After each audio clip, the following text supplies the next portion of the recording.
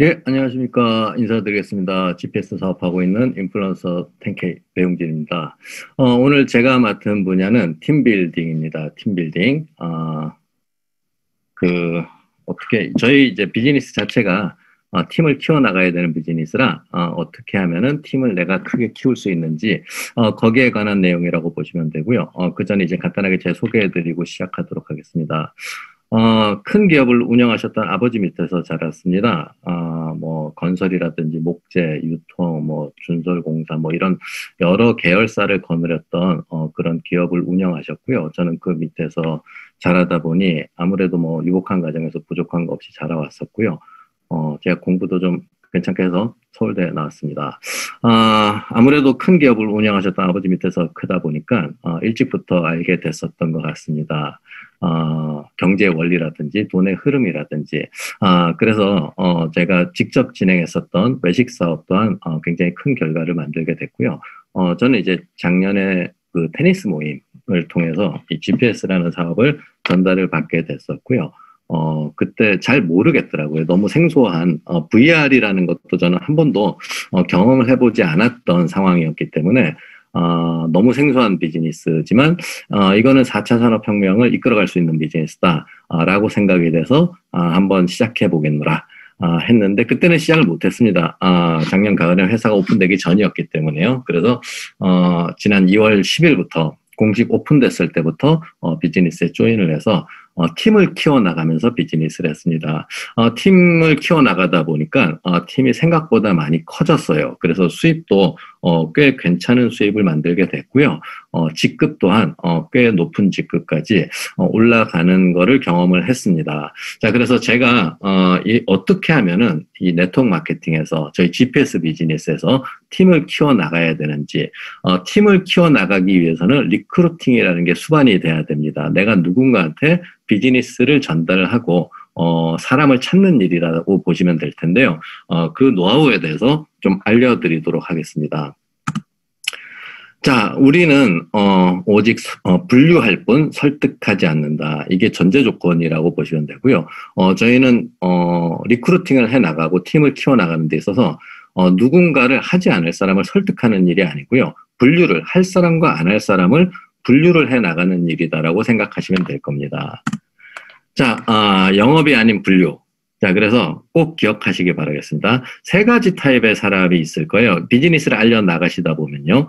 어, 빨간 사가 뭐 여기 색, 깔로돼 있는데 매우 관심이 있는 사람 한 10% 정도 될 겁니다. 내가 어, 비즈니스를 전달하자마자 나 이거 한번 해보겠다고 어, 곧바로 시작하시는 분들이 있고요. 여기에 내 시간의 90%를 투자하시면 됩니다.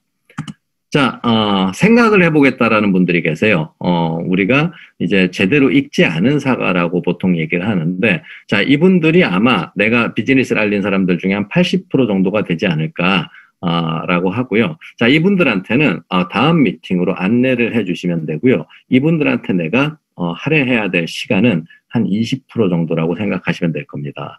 자, 마지막 있습니다. 관심이 없는 분들 계세요. 아, 나는 뭐 이런 거 전혀 관심 없다고. 난 무슨 얘기인지도 잘 모르겠다고. 자, 이런 분들한테 시간을 절대로 뺏기지 마십시오. 자, 이분들이 뭐 내가 알린 사람들 중에 한 10% 정도가 될 거고요. 어, 이분들 같은 경우는 내가 이분들을 위한 시간은 어, 0%를 할애하시면 될 겁니다. 자, 어, 어떻게 팀을 키워나가야 되는지, 어, 네 가지 이, 어, 단계가 있는데요. 어, 첫 번째 호기심 유발. 어, 누군가한테 비즈니스를 전달하기 위해서는 호기심을 유발을 해야지 이분들이 궁금해 하십니다. 자, 궁금하신 분들을 초대를 하시면 되고요. 그 다음에 사업 설명을 하고 그분들이 사업을 조인할 수 있게끔 클로징을 해주시면 됩니다. 이 네 가지 과정으로 이 일이 진행이 되는데요. 어, 해야 되는 역할이 좀 나눠져 있습니다.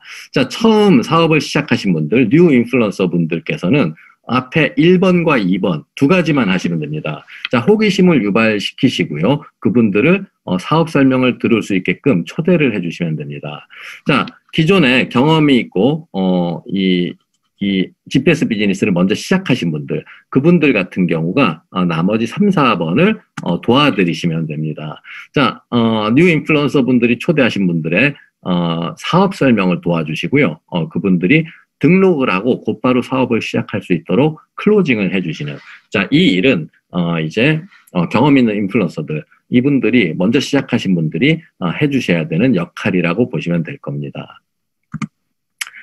자, 어, 그러기 위해서는 호기심 유발과 초대를 하셔야 되는데요. 호기심 유발 초대. 자, 당당하게 전달을 하셔야 됩니다. 어, 많은 분들이, 아, 이거를 내가 전달했을 때 얘가 어떻게 생각할까? 자, 이 부분을 너무 많이 걱정을 하시는 분들이 계세요. 어, 그래서 그러시지 마시고 내가 정말 비전을 보고 시작하는 비즈니스다. 어, 그러면은 어, 당당하게 전달을 하셔야 됩니다. 자, 호기심만 자극하셔야 되고요. 설명하시면 안 됩니다. 많은 분들이 어, 질문을 하세요. 이 비즈니스를 어, 내가 초대를 하려고 하면은 뭔데 그래? 아, 아, 괜찮으니까 나한테 설명해봐. 간단하게만 좀 대충 설명 좀 해줘봐. 라고 했을 때 거기에 말려 들어가시면 안 됩니다. 자, 설명하시면은요, 어, 그분들은 와서 사업 설명을 들으시더라도 어, 그렇게 큰 임팩트가 없으실 수가 있으세요. 그래서 어, 설명하시지 말고요. 호기심만 자극하자. 자, 아, 초대는 3분 안에 끝내셔야 됩니다. 시간이 길어지면 길어질수록요, 어, 저는 언젠가 설명을 하고 있을 겁니다. 자, 초대라고 읽고 방문하지 말자. 어, 방문하셔도 되거든요. 근데, 아, 이제 이게 방문이 어떤 방문이냐면 그분들의 홈그라운드로 들어가시면은, 어, 아무래도 불리해집니다. 아, 그래서 그 집이든 사무실이든 바로 앞에 커피숍에라도 이분들이 나와서 들을 수 있는, 어, 이 환경, 환경을 어, 만드는 게 가장 중요하다라고 보시면 되고요. 안 알려주는 게 최고의 기술이다. 자, 설명을 최대한 하고 싶은 말을 어, 참아야지 이분들이 와서 제대로 된 사업 설명을 들었을 때 제대로 된 비전을 보실 수가 있다라고 보시면 될 겁니다. 자, 그러기 위해서는 초대를 하기 위해서는 우리가 명단이라는 게 있어야 되거든요. 어, 명단, 어, 명단을 작성하셔야지만 어, 우리가 초대를 많이 만들어낼 수 있고요. 초대가 많아야지 어, 내가 내 팀을 키워내 나가는 데 있어서 내 팀에 합류하시는 분들이 많아질 수가 있습니다. 자, 어, 전제 조건이 이게 바뀌지 않는 네트워크 마케팅에서는 바뀌지 않는 부분인데요. 할 것 같은 사람이 잘 안 하고요. 안 할 것 같은 사람이 너무 쉽게 합니다. 자, 그리고 잘할 것 같다라고 생각했던 사람들이 생각보다 못할 수가 있고요. 어, 못할 것 같다라고 생각했던 사람들이 어, 생각보다 굉장히 잘할 수가 있습니다. 자, 그러기 위해서 어, 내 판단이 중요하지가 않고요. 어, 미리 판단하지 않으셔야 됩니다. 자, 내가 아는 모든 사람의 명단을 적는다라면은 어, 내 판단은 들어가지 않을 겁니다. 자, 이것도 저것도 다 어렵다 어, 했을 때는 어, 내가 생각했을 때 안할것 같은 사람, 그분들을 먼저 한번 초대해 보시는 것도 어, 좋은 방법 중에 하나입니다. 왜냐하면요, 안 할 것 같은 사람을 제가 초대했는데 그분들이 안 했어요. 그러면 제 생각이 맞는 거잖아요. 그러면 어떠한 상처도 받으실 필요가 없습니다. 하지만 안 할 것 같다라고 생각했던 사람을 초대했는데 그분들이 어 이거 괜찮은 비즈니스다. 나도 한번 해보겠다. 라고 말씀하시는 분들이 가끔 나옵니다. 자, 그거는 어, 말 그대로 대박이 되는 거거든요. 그래서 어, 안 할 것 같은 사람들을 먼저 한번 초대해 보는 것. 자신감이 없으신 분들일수록 어, 이렇게 한번 비즈니스를 진행해 보시면 어떨까라고 생각이 됩니다. 자, 그 다음에 사업 설명이에요. 사업 설명은 어, 이렇게 세 가지 종류의 사업 설명이 있습니다. 1대1, 혹은 2대1로 사업 설명을 하는 거죠. 어, 내가 직접 만나서 어, 사업 설명을 하실 수도 있습니다. 근데 어, 초보 사업자분들, 이제 막 시작하신 분들은 이게 쉽지가 않으실 수가 있어요. 그래서 어, 내가 정확하게 전달해야 될 내용들을 전달하는 게 아니고요. 어, 정말 다른 얘기로 삼천포로 빠지실 수가 있기 때문에 어, 1대1 사업 설명은 내가 경험이 없으면은 어, 그거는 어, 누군가한테 부탁을 해서 2대1로 사업 설명을 하시는 게 가장 좋습니다. 지금 이제 코로나 상황 때문에 어, 많은 사람들이 모이는 사업 설명은 지금 현재 어, 불가능합니다. 그래서 가장 많이 지금 어, 우리가 사용하는 방법 중에 하나가 이 2대1 사업 설명. 어, 내가 어, 누군가를 초대하고요. 어, 나를 도와주는 어, 스폰서라고 저희가 부르죠. 어, 먼저 시작하신 어, 나를 도와주시는 이런 인플루언서 분들께서 와서 어, 사업 설명을 도와주시고 자 이런 구조로 가는 게 가장 좋은 방법이다라고 생각을 합니다. 자두 번째는요 PBR private business reception의 약자고요. 이거는 이제 소규모 사업 설명인데 어, 여기까지는 지금 현재 괜찮습니다. 어, 이거는 뭐 내가 사업을 시작했고요. 어, 내 집에 어, 내 지인들을 부르실 수가 있습니다.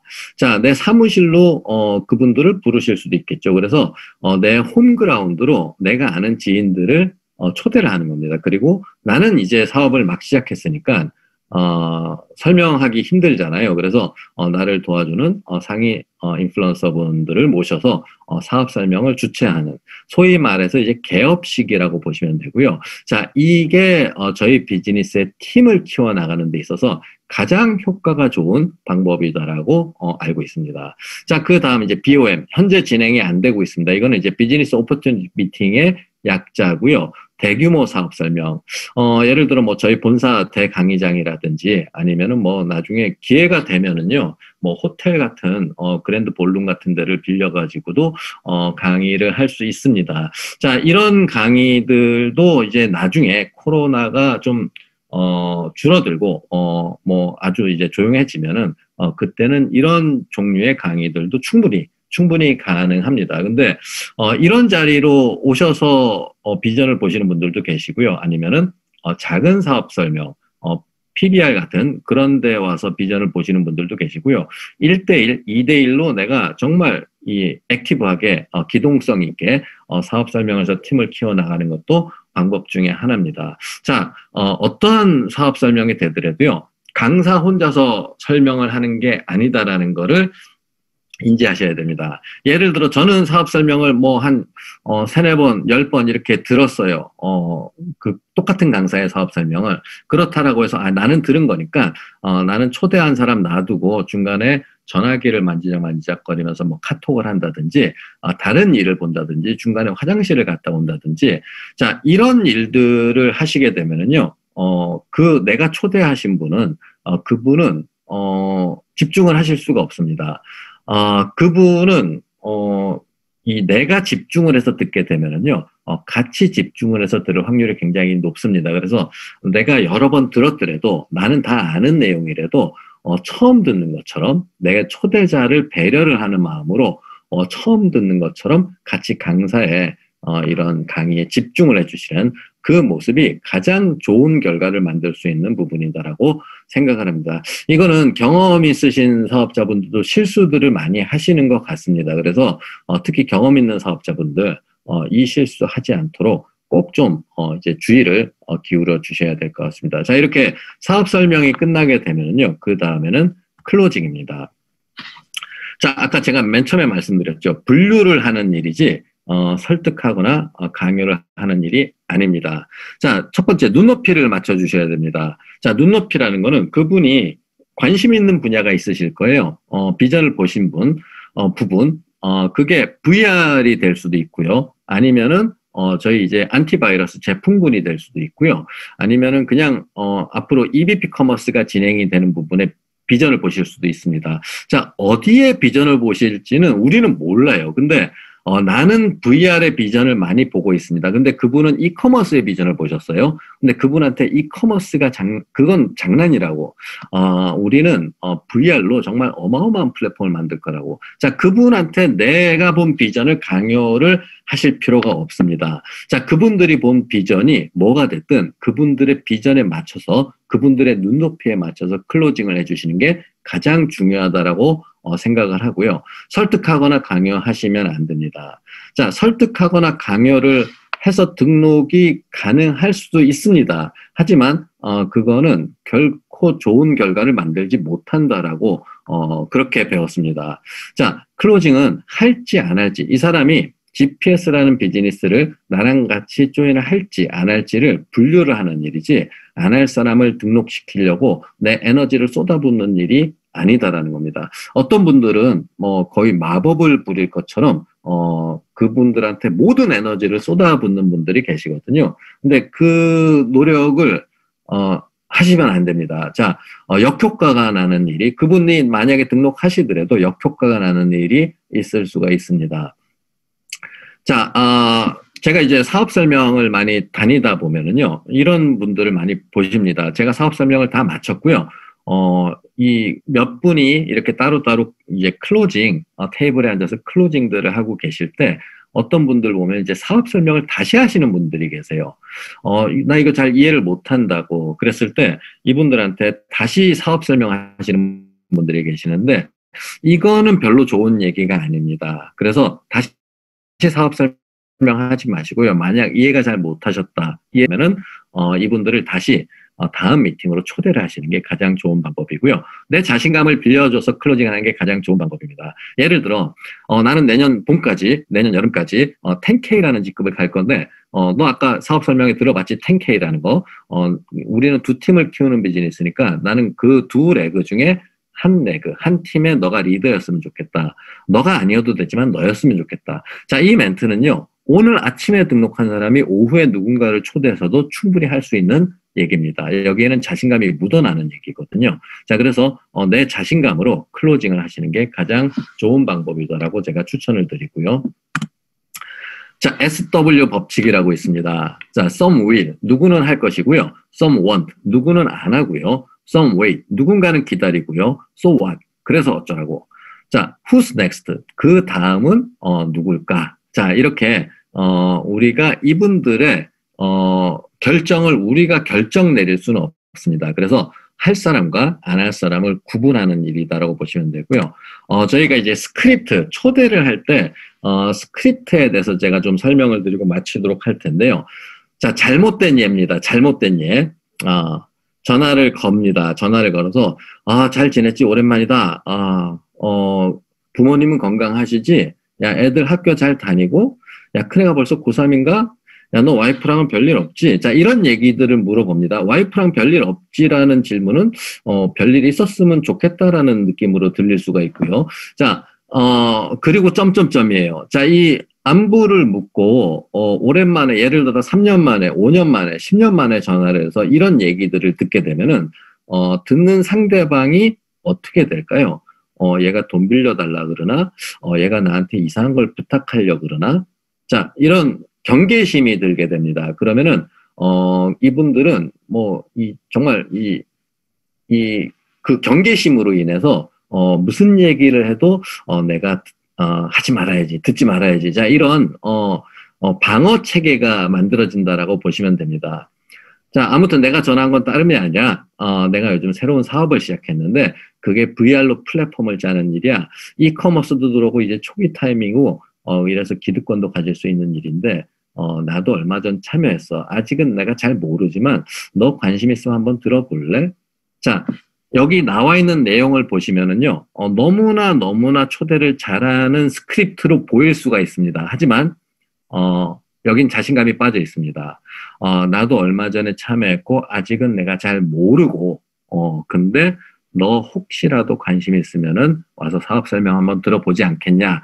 아, 자신감 없는 초대 멘트입니다. 자, 이렇게 전화를 해서, 어, 이 결과가 잘 나오는 경우들이 생각보다 없습니다. 그래서 제가 어, 잘못된 예라고 이렇게 적어 놓은 겁니다. 어떻게 보면은 이 잘못된 예라는 위에 글자만 없다라면은 굉장히 좋은 스크립트로도 보일 수가 있을 겁니다. 하지만 실질적으로는 어, 역효과가 나는 스크립트고요. 좋은 예를 제가 설명을 드리겠습니다.